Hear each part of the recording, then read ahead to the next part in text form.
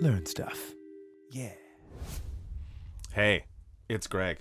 And today we're talking about the settings you need to change in Zoom to make your singing, your guitar playing, or your DJ event sound as good as it can. If you've tried to do it already, you may have noticed it doesn't sound that great with the default settings. That's because the default settings support good, clear communication, talking. It's not great for musical instruments or musical waveforms or whatever. So let's talk about the settings that you have to change so that you can perform the best, sound the best you can in Zoom. Okay, here we are. Let's open up Zoom and make sure you're on at least version 5.6.5 or later. Let's start a new meeting. And there I am. You can see my webcam is on. And let's have a look at our audio settings. So down bottom you have video options here and audio options of course. We'll keep it muted for now, but you can unmute here of course. And just to the right there is a arrow pointing up. Here you can see that I've selected my Mackie Pro FX as the microphone and as the speaker. That's an external USB mixer that I'm using. Makes a big difference to performing and getting a good sound into your computer and out of your computer. I have a video that talks about that as well if you want. There's probably a card for that for you to check on here or at the end of the video. But I've got both the Pro FX selected for microphone and speaker. You may be selecting a webcam or something else you may have connected to your computer. But we'll talk about that in another video. Let's talk about the audio settings. So down bottom, you want to click on the audio settings tab. And you can see that you've got options for testing, and you also have the options to change your microphone and speaker choices in here as well.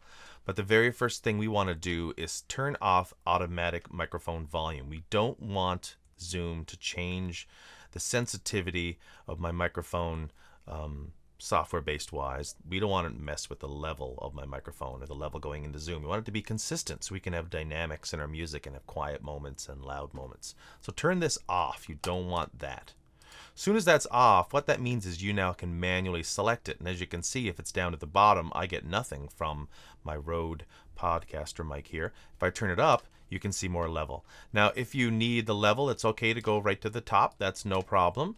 But you want to make sure this level is, uh, you know, 75, three quarters of the way up um, and leave yourself some headroom in case there's a louder moment.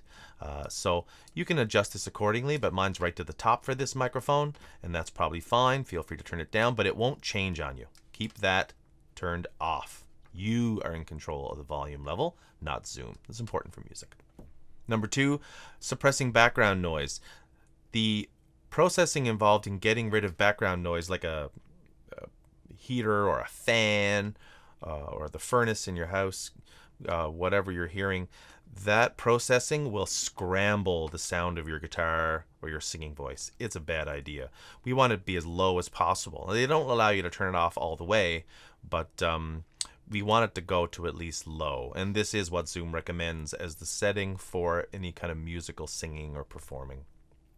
So set that to low, and we're moving on from there. Next, this is a fairly new addition. Uh, but with all the musical performance that's happening on Zoom, uh, they've added this in recent versions. So let's turn this on. Show the in-meeting option to enable original sound. Turn that on. And this opens up some settings that are great for musicians and for high fidelity music. So original sound will be a button that will appear up here now that I've turned it on in the call. And you'll want to remember to turn that on whenever you're doing a, a musical performance uh, Zoom meeting or call. So yes, we want high fidelity music mode, definitely. Echo cancellation, definitely not. Now, there are times when you're going to want a high quality music mode and have echo cancellation on, but that's usually when you aren't using any kind of special microphones or headphones. Basically, if you don't have echo cancellation on, you should probably be wearing headphones.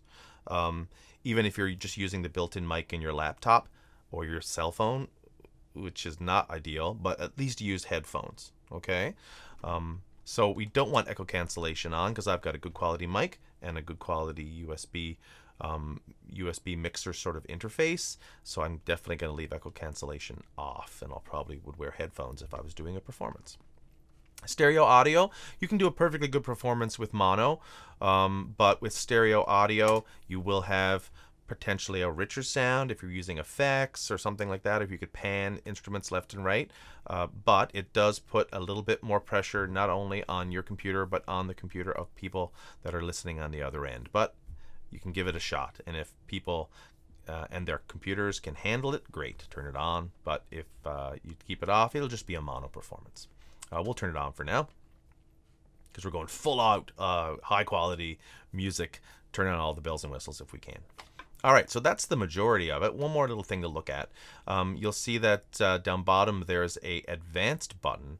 We'll just click on that just to look in here. And you'll see signal processing by Windows audio device drivers. And there's two options, auto and, well, on and off and auto and then echo cancellation in general. Now, the only options for echo cancellation are auto and aggressive. We definitely don't want aggressive echo cancellation.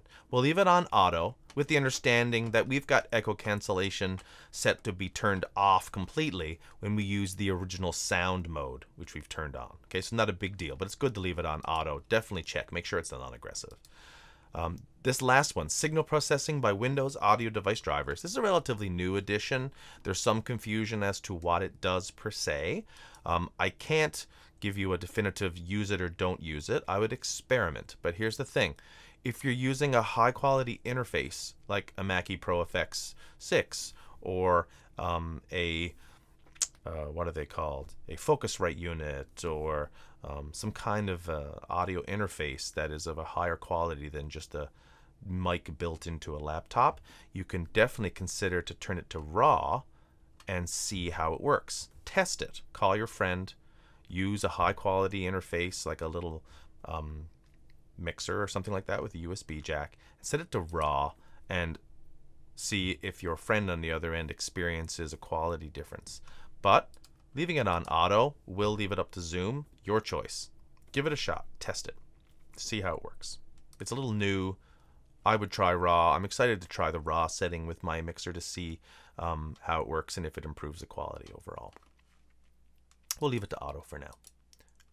So that's mostly all the settings you need uh, to uh, use Zoom for singing or DJ music playback or playing your guitar or your saxophone, whatever you're into.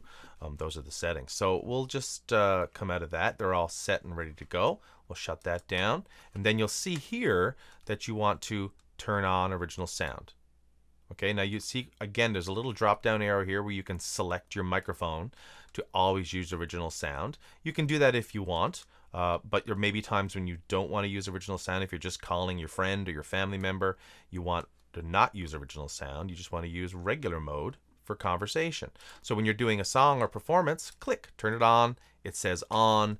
You're doing your mm, performing, you're singing, you're strumming. Your guitar won't sound weird anymore. Your singing will sound better. Your instruments, your musical playback will all sound better.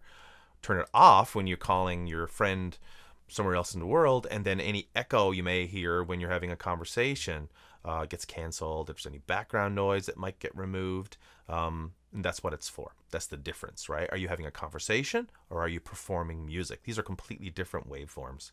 And we've set it up so that you can choose to call your grandma or perform with your guitar or do a DJ show or sing, whatever. Okay, so those are the basic settings. Uh, what's next is to talk about uh, the kinds of devices you're using and how to use the hardware like microphones, mixers, and headphones to assist uh, with these settings and in combination get the best possible online performance experience for your audience that you can possibly get. I hope that helps. If you uh, you know, want to subscribe, please do. Leave a comment. I love it. Um, uh, love to hear the comments and uh, and answer questions. And please consider subscribing to Greg in the Box. Every little bit helps.